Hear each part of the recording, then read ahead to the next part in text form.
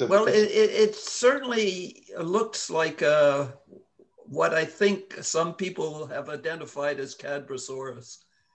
Yes. On the surface, just like a snake, and so flexible back, and uh, they said and a funny looking head. What I read was it's an ambush predator, and um, because it can't move at high speeds. Ah. And very, very aggressive. Uh, right. Kind of like a barracuda. yeah, and they, they, they are in, in big schools too. You know, Yogi from the uh, International Fisheries Trust, he said he'd only seen one or two washed up on beaches. He'd never seen a live one. And he's he's a longtime fisheries biologist. I've never seen. Anyway, it's it's ten o'clock. We should probably start. So hmm. I've uh, started the recording. Um, so we're going to do booby today for me anyway, and I'll tie this guy. It's it's kind of like what they call a tequila booby. Um, but you can tie them in different sizes and configurations. So this is one that doesn't have the big collar and it's kind of a medium sized one. And then there's these little guys, which are just teeny little eyes and a little bit of marabou. Um, I think the ones that most people use are the are the larger ones around here. And uh, here's another one that's just different colors. So I'll tie the big one to start with. And for that, I'm, I'm going to use a, about a 3X long. This one's a size 8 hook. Get that in the vise. I'm going to use a, a black thread just for the living heck of it. I happen to have it handy. The first thing I'm going to do is uh, start the thread and I'm going to dress the hook back to about a quarter of the length of the hook.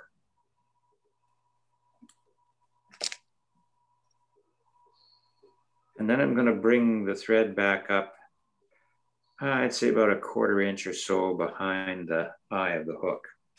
This is where I'm going to tie in the foam for the booby eyes. Now, the, the foam comes in a variety of different arrangements.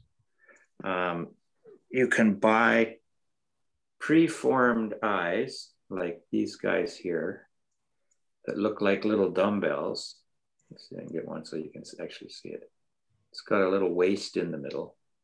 You can get those in different sizes, but they're pretty pricey. The other way you can get them is you can get them in foam cylinders that uh, come in a bag like that. And they come in a couple of different diameters. Um, so this one I'm going to use the commercial grade one, and it it's a little uh, longer than than what uh, what because it comes in a longer length, and you only want it to be uh, sort of gap width on either side of the hook. So what I'm going to do is I'm going to tie this thing on to the hook at that point, leaving a little space between the foam cylinder and the eye of the hook. I'm going to go from back to front diagonally over the foam onto the hook shank and cinch it down, then underneath and do the same thing where your thread is almost parallel to the hook shank from one side to the other, front to back, but almost parallel to the hook shank. And I'm gonna cinch that down pretty good. Now, there's a tendency of these things to spin around the hook. And the answer to that is super glue. So I'm gonna take a little bit of super glue and I'm gonna put some on the thread here a little bit underneath. And then I'm going to wrap some more wraps. To a couple over this way and a couple this way. And that carries the super glue down onto the shank of the hook and it uh, keeps them from turning. And I'm just gonna snip off this long end here to about the same length as the other side to kind of even them out. So there's my booby eyes tied on the hook. Cinch down some more, a little more cinching down here. Then I'm going to take the uh, thread back all the way down the hook shank to where the barb was before it got flattened. And then I'm going to put some flash in. Now on these bigger ones, I will use a, a thicker flash. And wherever I put it, the stuff that I've been using lately is, uh, where to go? This stuff is, is really quite neat. It's called lateral scale. And it's like uh, Flashabou, but it's it's got uh, it's got little ripples in it. It just gives a little more uh, a little more glisten to it. I'm going to take a piece of that out of this package. Just pull it out the side here. Mm-hmm.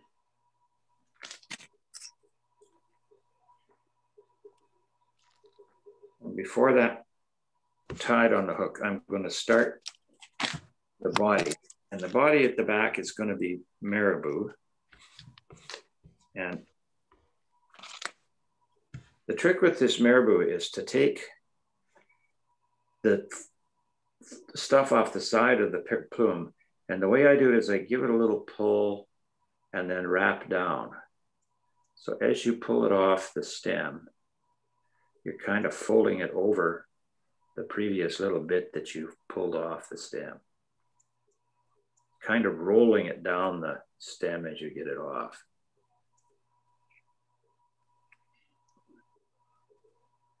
And then you end up with a nicely formed bunch of marabou. And I'm gonna then tie that onto the hook shank right there. And I don't want the tail to be too long because if it gets too long, there's a tendency for the marabou to wrap around the bend of the hook. And I think you also end up getting some short strikes.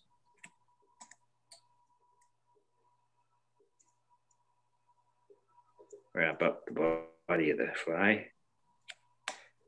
And then I'm going to take that little piece of oh, Flashabou, wherever it went as well organized today as I usually am. Get another one out here. Um, hey, what size is that hook? That's a size eight, three, two X to three X. Two, yeah, I think that's a two X long. What's your normal size you use? That's what I would use, six to eight. I don't use like you. If you're going to tie it smaller, um, you're going to find it difficult to get that gel spun head on it. Uh, so anyway, I'm going to take this uh, this flash, and I'm just going to fold it around the the thread. Bring it up and set it on top of the hook. Wrap it down. And then I'm going to try and get one strand of it on the near side of the hook and one strand on the far side. So there's the one on the far side. And there's the one on the near side.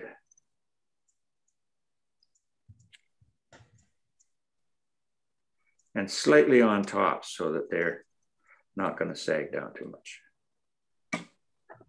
Then I'm going to lift them up and, and trim them off about the same length as the green marabou. And I'm going to get some more of the green marabou and I'm going to pull some of that off.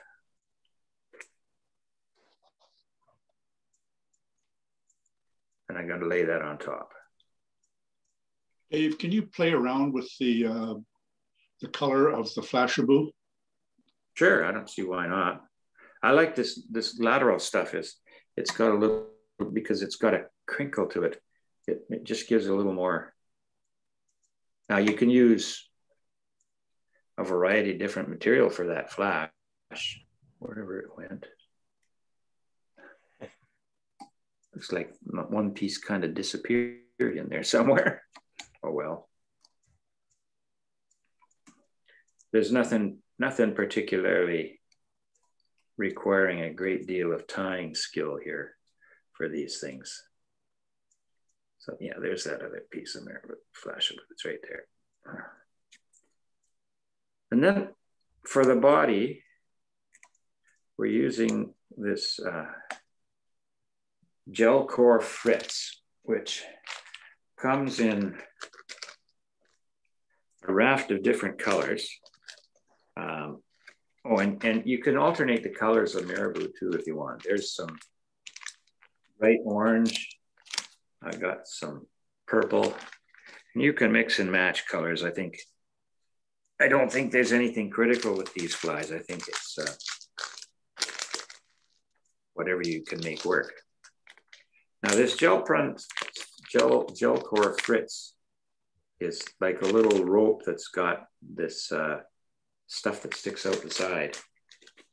What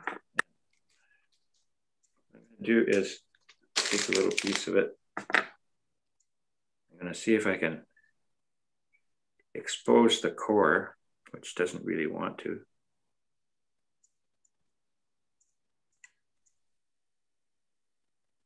see if I get it off this end. There we go. So we expose the core so that we can tie just the core down on the body there.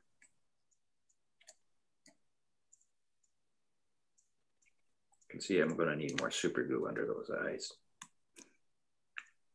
And then I'm going to take this uh, stuff and just wrap it around the shank of the hook. And if I give it a little bit of a twist as I do, what I'm doing is I'm wrapping the, the core of this stuff right next to the hook shank and leaving the, the, the fritzy part to stick straight out. So it requires you to make kind of a little half twist every time you go through. You got to make sure that that core goes right next to the hook shank. And as soon as I get up to those eyes, I'm gonna bring the thread up and tie it down.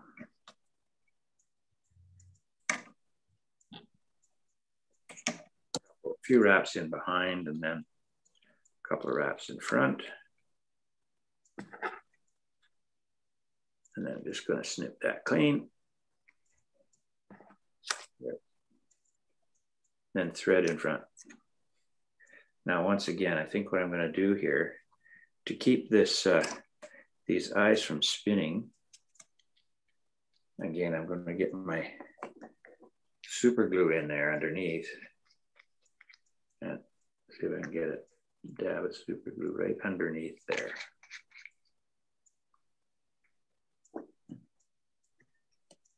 Get a few more wraps of thread in right through the super glue.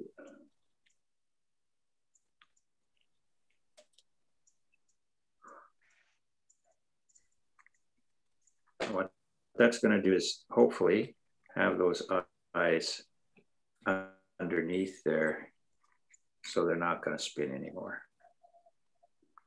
Now we were talking whip finishers. And uh, I think we'll, we'll take a minute here to, to look at them. Whip finish. A variety. The first one that I worked with was these guys. This is a, a Thompson style wood finisher. And that's the bigger version. And I have also have a, a smaller version here. And the way these guys work is you hook the thread the spring part, you lay the, the thread that's on the, the spool in the little V and, and then hook the hook around the thread and bring it up and wrap it around the eye. Um, actually, sometimes it's better if you invert it. I don't use this particular version very often. But once you do that, then you just lay that thing around and you spin it around the hook a few times. Flick the gizmo out of the way and pull it tight. That's the Thompson. One most people use is the Matarelli, which is this guy here. And what you do is you hook the thread, you bring the thread around the, the bent part here and lay the thread from the from your bobbin along the hook shank and then just spin the thing around. And then when you're ready to finish, you push forward to get it loose at the back and then pull with the spool, the bobbin, and that pulls it up. And then the third one is the nicest one, I think. It's made by Marc Petitjean. It's not cheap, but again, it's hook the thread, lay the thread into this little hook. Oops, right. Ah. Just lay it in and then lay it up and go around, two, three, flip the thing out of the way and pull. Now, the last thing you guys were interested in was the hand finish. What I do with that is I hold the bobbin straight up with the thread going straight up. Take my right hand, take the fig, the two first two fingers, lay them across the thread, palm out, bring the bobbin down on the near side towards the hook shank, right behind the eye, and turn my hand over so that the thread from the bobbin goes around the eye. And then I use the one finger to push the thread over and the other finger to pull the thread under. So that's the second finger over, the first finger under. And what that does is that wraps that loose piece of thread around the eye of the hook. And you pull it tight and you're done. So that's the three or four different styles of whip finish. And if you're interested, another day we can run through the hand whip finisher again, or if you have questions on how to make any of these go. Now, the last thing I do before I finish is this is an artistic thing. I take a Sharpie and make sure it's ready. And I'd come in with my Sharpie and I make a little dot, black dot, right in the middle of that foam. So fine point Sharpie.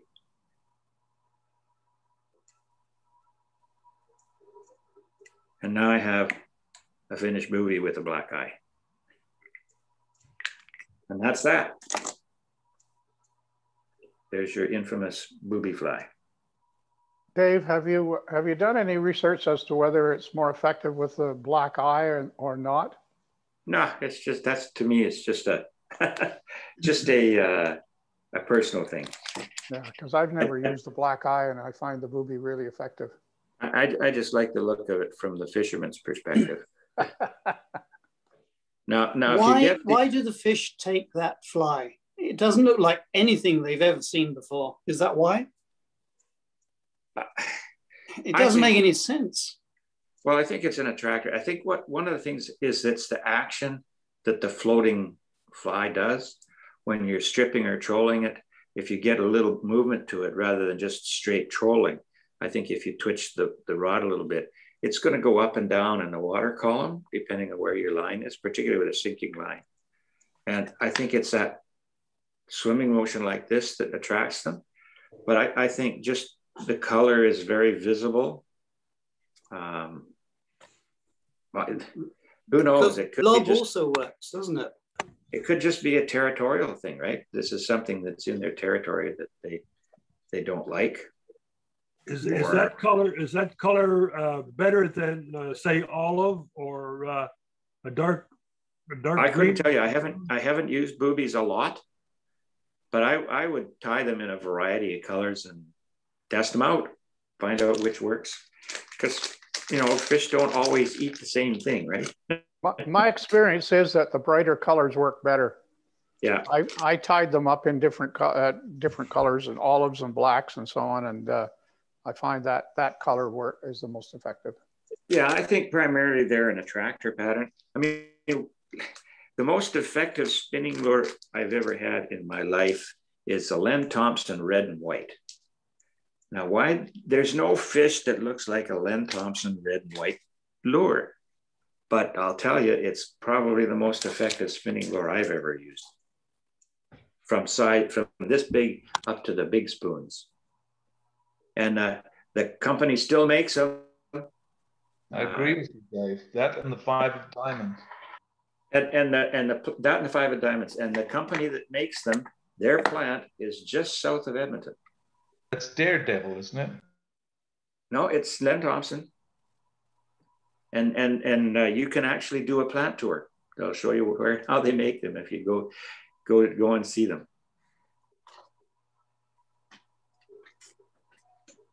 So there you go. That's my uh, contribution for the day. That Len Thompson you're talking about is very effective on steelhead too. Oh It yeah, used to be.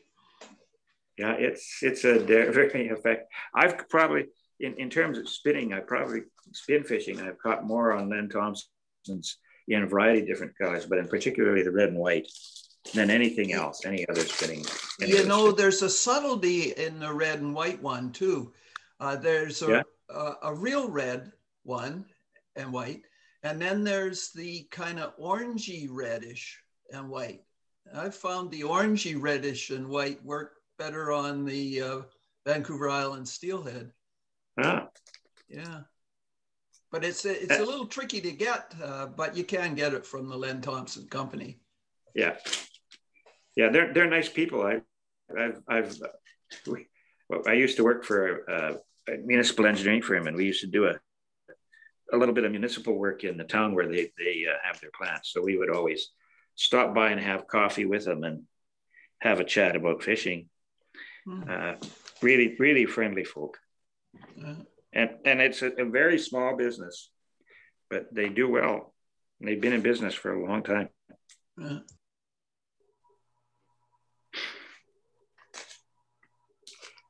So, Florin, it's your turn. All right, thank you. Oh, and, and as by way of introduction to this, uh, those of you who were in earlier, uh, we, we talked about, I, I was out fishing with Winky the other day on the Cowichan, and, and apparently Dave Locke was out there earlier in the morning. And there was a hatch of uh, mayflies on, a huge hatch of mayflies on. There weren't a lot of fish around, but both uh, Winky and I managed to hook and promptly proceeded to lose a nice looking brown. And it was on a Royal, Royal Coachman wet fly, which is similar to the, the March brown that you're going to tie, Florin. And I'm sure that's exactly what the species was. I'm sure it was the Rhithrogena that was hatching.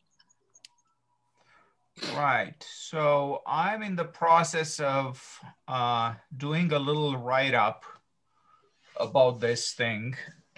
There's a lot of information about these flies. And incidentally, the traditional English March brown is in the same genus as the Western March brown. The Eastern and Midwestern ones are slightly different beast. They're in the same family, but they're in a, they're in different genera. And there is also a little bit of confusion there because there's been some reclassification that happened not that long ago. So depending on what age your books are, uh, they're going to have names that you're not going to recognize. So this is just the, the biology of it. There are primarily three species apparently of importance in the West. And opinions are somewhat divided as to how exactly they, they emerge. So these are fast water um, nymphs that, that cling to the bottom. So these are the clingers. Um, they're also known as flat-headed mayflies. And some people say that they do emerge at the bottom and basically the dun with wings somewhat crumpled and folded is swimming to the surface. And some say no, they first move to slow water and then they emerge the usual way at the surface, okay?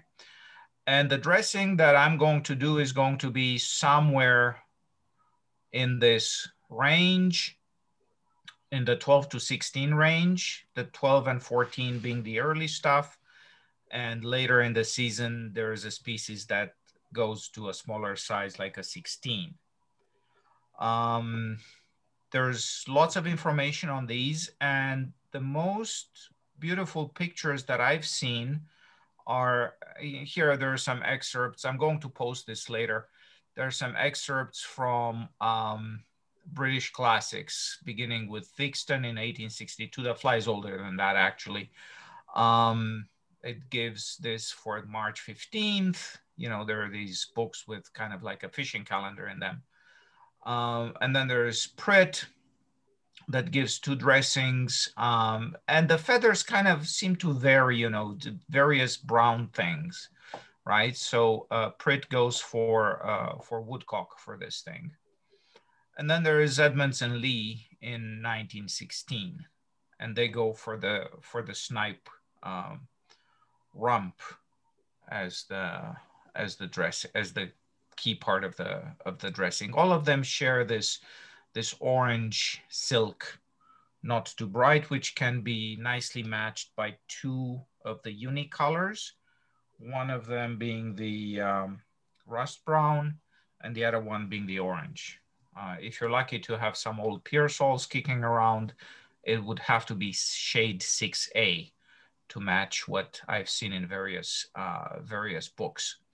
Anyway, um, there's a list of references where you find more information about these things. Um, there's the mayflies, Knopp and Cormier. That's kind of a bit of a standard reference.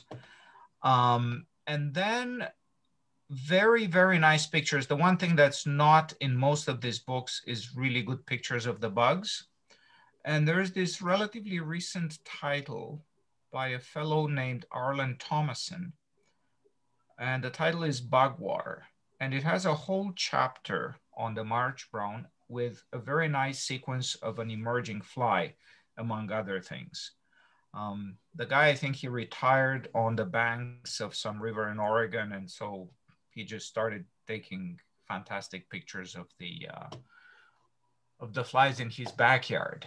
Um, so if you want to see very close up what the nymphs and the, uh, the duns of these things look like, that's a good place to look. Okay. Now the March Brown wet fly, which is what I'm looking at here. Now these being clingers, the thing is that fishing the nymph is a bit of a waste of time because these nymphs, they're not actively uh, moving around in the drift they're clinging to rocks, and the only times they become available to the trout is when the fly is um, is emerging. So that's the the part of the theory that justifies why you'd fish a wet fly for these uh, for these hatches. Now this is a bit of a multi-purpose fly as well because many people fly these um, wet March browns for uh, caddis hatches so match match the size and fish the same thing, or a partridge and orange. That's a very effective thing with uh, with caddis flies as well. Okay. Um, there are versions of this fly. So this is the winged version. There are also spider versions of this, which really means is the same fly minus the wing. Okay. And I've done, um, last summer, I've done a version of this that used partridge tail as both the tail of the fly and the wing. These are really beautiful speckled, uh, speckled feathers. They're not very, easy, very easy to come by. You'd have to mail order them from somewhere. Shops, as far as I am aware, never stock the stuff, but this is an option. Another feather that I've seen listed as something to use when doing the tails on this fly is bronze mallard, of which I have a sample here and which I'm going to be using today. Again, you get this really nice fine barring that shows like the segmentation on the tails of the natural. So this is beautiful stuff to use. I found I have some, uh, a few feathers of pintail, actually. So I think a trip to the Esquimalt Lagoon and a quick, careful look on the shoreline might yield some feathers occasionally. These things are also very fine, very fine barring. The, the color is veering a little bit more towards the towards pink. There's just a light touch of pink in these feathers. Very nice, uh, very nice stuff. I'm going to try them as well. Okay, so these are the key materials. The other thing that is used, so you can do one with partridge wing and tail like I did last year. The other thing that is being used for, for wings, and if you want to see how an expert would do it, just go and watch Davie McPhail using, um, these are feathers from the wing of a hen pheasant. At some point, hen pheasants were readily available. I think all these birds have disappeared from shops for some reason. Um, but I, I do have a, a whole hen pheasant skin kicking around. Then I a, a few feathers and they look absolutely beautiful. Okay, so let's uh, let's see how this is done. And oh, for the body as well, this one is with mylar tinsel uh, with some um, gold, fine gold thread on top. The alternatives are to use some dubbing of some sort and whatever you like for the ribbing, including, as I did on this fly, a little bit of yellow silk. Okay. So I'm going to do on a size 12, which is the largest size recommended if you're going for flying this, uh, fishing this fly for the uh, Rhithrogena, so the, the actual March brown fly. Okay, so I'm going to do this one with the with the Uni A-dot orange.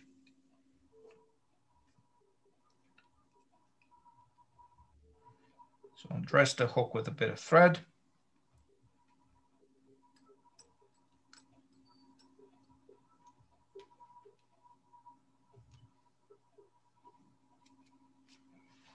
And get some material for tail. Now, it doesn't take an awful lot. You just want a few fibers from the mallard.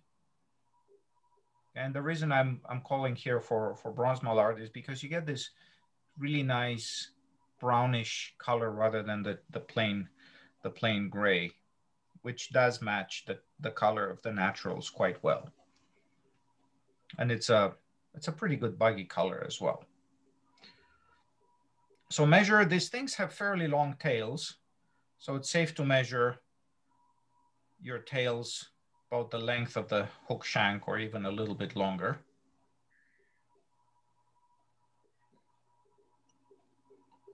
couple of soft loops. And I've got the tail attached here.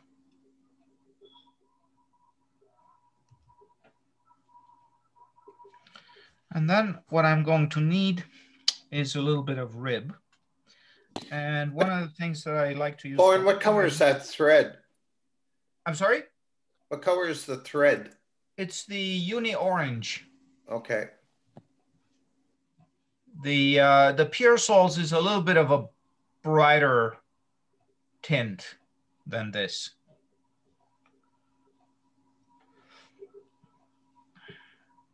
Now for, for ribbing, one of the things that I like to use when I do flies that are not too big is I bought many years ago a spool. This was in a fabric store a spool of metallic thread that's fairly fine and it's gold. And it's basically just like a fine gold tinsel at the fraction of the cost you would pay for the uh, appropriate fly tying product. And it works well. You just have to be careful that when you attach it, the uh, gold coating which is just like some very fine uh, metallic stuff that's on top of the thread doesn't get separated from the core. Okay. And now for the body, what I'm going to use is some dubbing. Now for dubbing, um, just good old plain hare's ear in a slightly darker. This is a homemade one that came from stripping a full mask and blending the blending the hairs. You can, you know, try to blend in a little bit of sparkly sparkly fiber if you want more of a greenish tinge to the body, although the bodies are brown. Um, just a few fibers of yellow sparkle is going to give you a greenish um, tinge. There is a bit of pink in some of these things, um, and some people like to add a bit of reddish in the thorax. Um, this is a dubbing mix with a bit of pink that I could switch for when I do the thorax. So there's a lot of room to play here with, with, with various, uh, various ideas. I fish this thing also in much larger sizes, like eights and tens. Um, on the high mountain streams when there's still green drakes around. And I use this um, greenish, um, greenish sparkly dubbing and uh, the fly worked well. So it's, uh, it's quite an adaptable, quite an adaptable design. Okay. So build a dubbed body.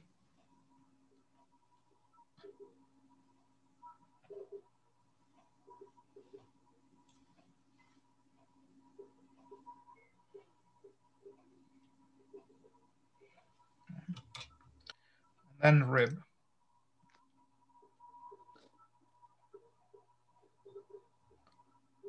The gold thread.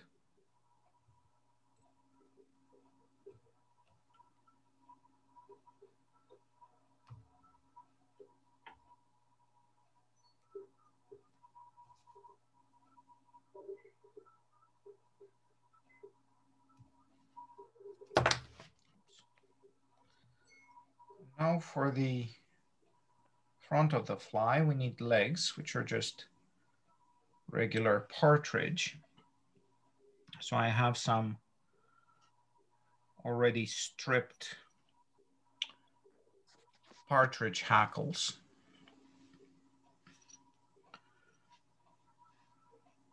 I just dip in here and select a feather and tie it on. Okay. Now with these, of course, these fibers are fairly long.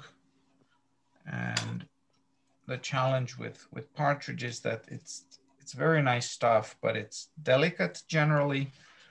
And you want fibers that match the hook size. So the trick here is to grab it with something so hackle pliers would do, and then try to fold back a little bit the fibers on the feather as close to the tip as you can get without tearing the feather apart. Okay, so maybe I can, I'll see. I hope I'm not getting too greedy here. Just fold back a little bit more.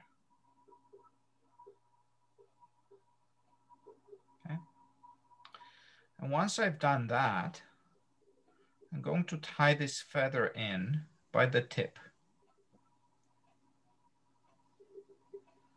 So I have the fiber separated back there. I know it's going to be a little less visible because my fingers will get in the way. So I hold the pretty side of the feather towards me and I attach it by the tip. Whoops. It was a little too close to the eye of the hook.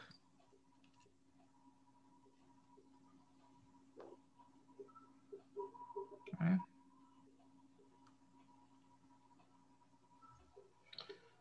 I have a little bit of fibers sticking to the front, which I don't want. Just trim those away. And make sure that the feather is well secured. I'm going to also use hackle pliers, just I find it's a lot easier to handle the feather if I did that. Okay. So now what I want to do, so I have the feather in position. Now I want to fold the fibers towards the back of the hook as I wrap the feather around. Gently, don't pull too hard, just enough to keep the whole thing under tension. If fibers get caught, just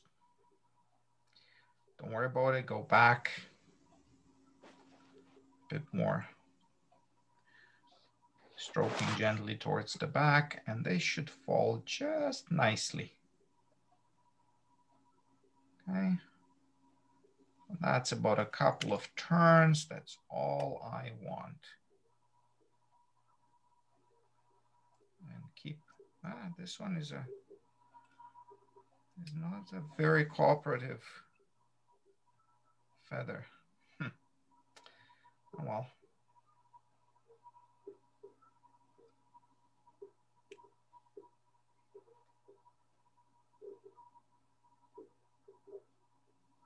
Okay. Just a couple of thread turns to secure the hackle. And then slide the scissors in here and trim the rest. Okay, looks a little messy, no problem. Just grab the fibers push them back and do a little bit of tidying up here.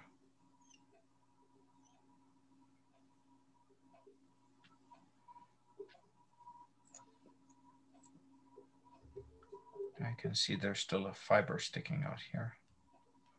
Okay. I think I went a little too far back. Don't want that. Okay, now I'm going to get the hen feathers. So I have a matched pairs as well as I could match them. And I've seen various methods for, for doing this, but what I found worked for me was the following.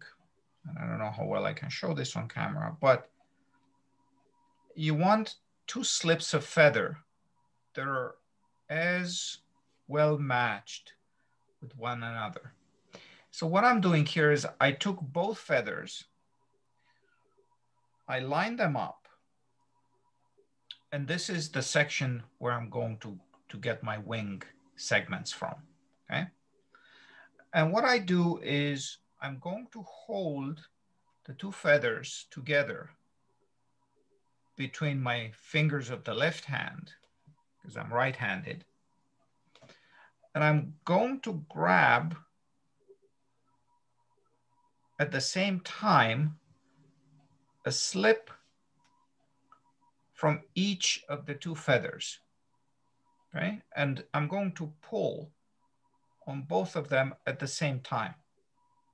Just rip them off the feathers, okay? So now they came off and they're in my right hand. And you can see the little curly ends where I ripped the fibers off the feather. Right? So this is what, what I've got. It looks like this, and it's two segments of hen wing, basically quite well matched right? So I don't have to worry about, I find that personally handling these feathers as separate slips and then putting them together, it's something I have yet to, uh, to learn how to do. Okay, and then I'm going to measure this wing. I don't want it to go too much past the bend of the hook. I'm going to transfer it to the fingers of my left hand, and then I'm going to do a couple of soft loops here. And I have to do this blindly and hope that you're not slipping off the hook. It happens. I, I have a bad feeling that this is, so it is attached now, but it's not in the right place. Okay.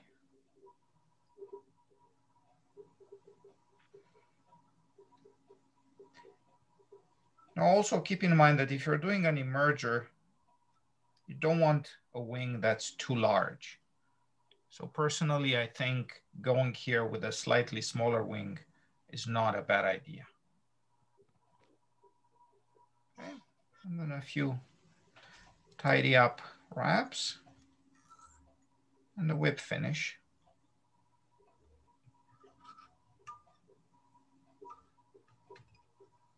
And then a second whip finish.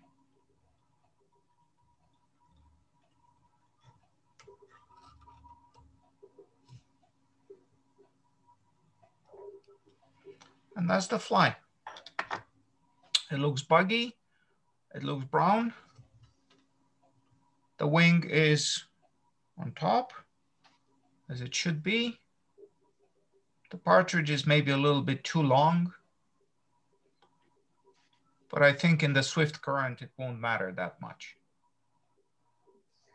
It's got all the moving parts. And those flies are meant to catch fish, not be pretty, eh? Well, they're also, if you tie them right, they can be very pretty. I'm just teasing you. they You- can be. that's very like pretty, mine. But it's um, it's a little bit harder. And what I was doing here also, I was uh, I turned off one of the lights so it doesn't kind of kill the camera. Because once I once I turn the light on properly, um, you, you can't see very well. So I was doing this a little bit in the dark, which is, uh, I have to say, a bit of a challenge. Those Yeah. flies are, are effective in still water too. I- Yes, I have. I've had great success with them on Durrance Lake.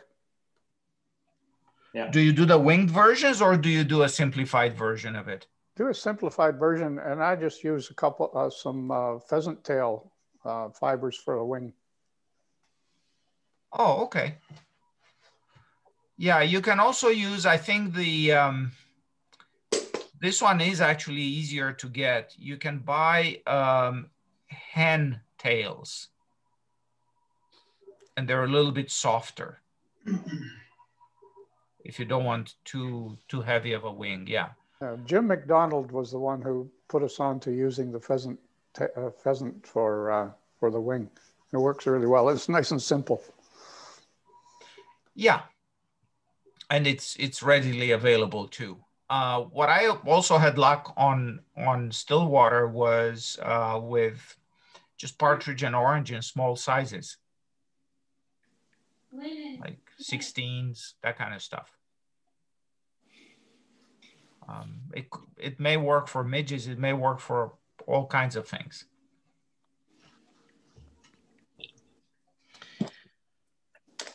And that's the uh, fly tying. I should stop the, okay, I should stop the vice here. Okay, thanks, Florin. Mhm.